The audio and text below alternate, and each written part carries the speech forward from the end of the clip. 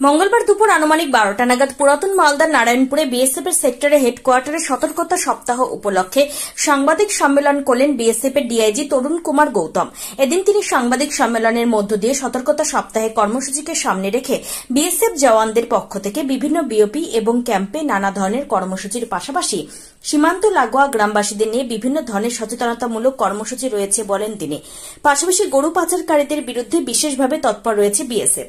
তাছাড়া বর্ডার সীমান্ত লাগোয়াগুলোতে যেসব জনগণরা রয়েছে তাদের সঙ্গে জনসংযোগ বিষয়ে এগিয়ে রয়েছে বিএসএফ বলে বলেন তিনি देखिए विजिलेंस अवेयरनेस वीक जो होता है इस विजिलेंस अवेयरनेस वीक में हम अपने जो बीएसएफ कार्मिक हैं उनको विजिलेंस प्रिवेंटिव विजिलेंस के बारे में बताते हैं उसके अलावा हम लोग कुछ कार्यक्रम करते हैं जिससे विजिलेंस के बारे में लोगों का ज्ञान वर्धन हो सके उसके अलावा हम लोग जगह जगह बैनर्स और पोस्टर्स लगाते हैं और अपने जो भी विजिलेंस से संबंधित हमारे जो अधिकारी हैं, उनके नंबर्स को वो करते हैं, हम डिस्प्ले में डालते हैं ताकि अगर किसी को भी कोई विजिलेंस से संबंधित कोई इश्यूज़ हैं, वो हमारे कंसर्न ऑफिसर्स को और उस नंबर पर बताया जा सके ताकि हम उसके ऊपर कोई भी कार्रवाई कर सकें।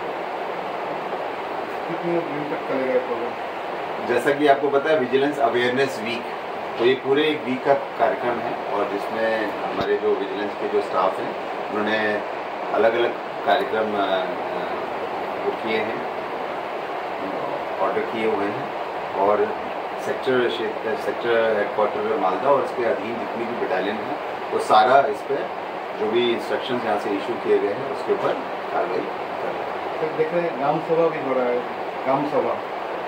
ग्राम सभा। ग्राम सभा हाँ। तो इस बारे में कोई ग्राम सभा?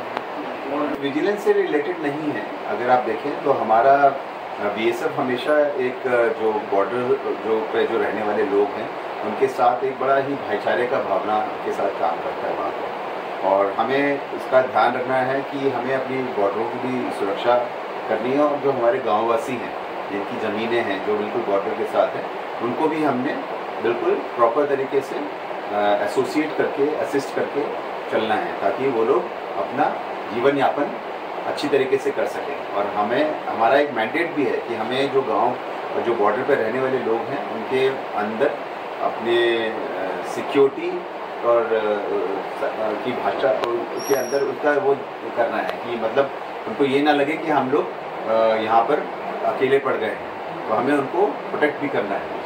तो जो ट्रांस बॉर्डर क्रिमिनल्स हैं उनसे भी हम उनको बचाव करते हैं और समय समय पर जो भी दिशा निर्देश हमारे जो जारी होते हैं तो उस दिशा निर्देश से भी हम उनको बताते हैं। तो इसी दिशा निर्देश के तहत जो विजिलेंस अवेयरनेस वीक है तो ग्राम सभा में भी जो विजिलेंस स्टाफ ने कुछ प्रोग्राम आयोजित किए होंगे मुझे लगता है और वो वहाँ पर होंगे अलग चाहे यहाँ पर आपने मौसम देखा ही होगा चाहे वो बारिश का मौसम हो चाहे वो विंटर्स का हो जिसमें धुंध वगैरह पड़ती है तस्कर हमेशा कोशिश करते हैं गांव जो गोरू की तस्करी को, को अ, अंजाम देने के लिए लेकिन हमारे जो We are the students of APS. Students of ঘটি চলিতেছে ঘটি চলিতেছে students of APS. Shivam education and social welfare ট্রাস্টের পরিচালিত Aurangabad public school We write here this school. এটি একটি বাংলা মাধ্যম আবাসিক অনাবাসিক শিক্ষা প্রতিষ্ঠান দু হাজার পঁচিশ শিক্ষাবর্ষে পঞ্চম থেকে নবম শ্রেণি পর্যন্ত বালক ও বালিকাদের ভর্তির জন্য ফর্ম ফিল আপ চলছে.